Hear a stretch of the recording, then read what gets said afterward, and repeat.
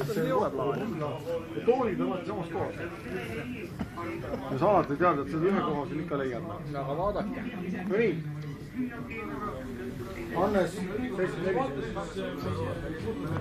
kus summina? nelikümmend kaks. ei selles mõttes muidugi Jaako võiks kutsuda minu on kolmkümmend kaheksa. minu on kolmkümmend kaheksa. nelikümmend kaks, seitsekümmend neli, kolmkümmend kaheksa. okei, teeme nii.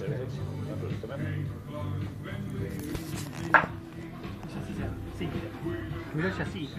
ei ole, see on see perselõhkuja uh,. nisuvõlu.